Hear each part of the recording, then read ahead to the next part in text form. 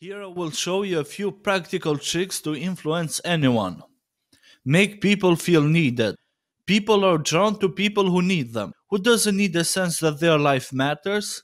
Give someone a sense that they are truly needed, not because you're desperate, but because they are special. Follow this simple strategy. Explain the whole situation, what is at stake. Explain the specific role someone has on this. Emphasize the importance of his role. Tell that he is a perfect guy for this task. Acknowledge that this request will require a sacrifice on his part. Ask him if you can count on his help. How long will it take to employ this strategy? Very little. You can go through these steps in a brief conversation. Reveal the secret of others. This trick consists when you tell someone a secret about what another person thinks of him. It's often used by bad people to destroy relationships. But we can use it to enhance the self image and improve his relationship with others. Imagine what impact might have on that person when you not only compliment him, but also reveal that others feel the same way. For example, let's say that you want to motivate your little brother or sister to spend more time studying math a subject they hate. First, spend some time helping them with their homework or preparing for a test. And if they get a good grade on the test, say, I am very proud of you, but I want to tell you a secret. Do you promise not to tell anyone? Our parents are also very proud of you. And do you know how many people the mother said that you are doing great in math? She has been bragging how smart you are to everybody. She didn't tell you because she thought you'd get embarrassed. So I just thought you should know this.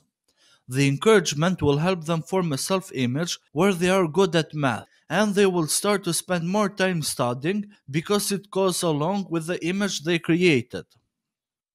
Artificial time constraints. Have you ever been to a bar, library, or airport and someone wanted to start a conversation with you? Did you felt awkward? The discomfort comes from not knowing when or if the conversation will end. So, the first step in developing rapport is letting the other person know there's an end in sight and it's really close. You can do that by mentioning the time or having the body language that shows you're leaving. Most human beings assess new situations and people for threat before anything else. Humans have genetically survived because of this. The technique works because it is specifically designed to lower the perceived risk to a stranger. Use simple phrases such as, Can I ask you a quick question? Or, I have to leave in five minutes. Can I ask you a quick question? It gives you a pretext to talk to a stranger and it also makes them feel comfortable around you. Command and command. The word and joins the first and second commands. The listener is overwhelmed with information. He doesn't know which command to resist, so he accepts both. For example, at home, take out the garbage and close the door behind you. Go upstairs and clean the room. At the office, call me at 3 o'clock and give me an update. Finish this project and let me know when you are done. On a website, click here and visit our site. Contact us and ask how we can help. People are more likely to carry out your commands when they feel that you are an authority figure. It helps if you appear strong, even a bit threatening when you issue your commands. Ego suspension. One of the hardest to do, but is one of the most powerful tricks. Suspending your ego and making others' views, wants, and needs more important than your own makes people want to be friends with you and like you. Suspending or putting on hold your own ego elevates another person's ego. For example, I was talking with my friend about my favorite TV show, which is The Big Bang Theory. I am a big fan of this show and I have rewatched it many times. My friend had seen the first episode and I asked him about his opinion.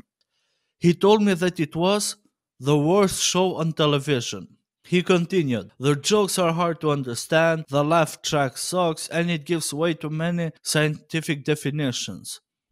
And I was like, Are you fucking crazy? You saw only one episode and you reached that conclusion? Okay, I had that thought, but I didn't express it. Instead, I said calmly, I understand why you think that way. When I first saw that show, I thought the story isn't that appealing.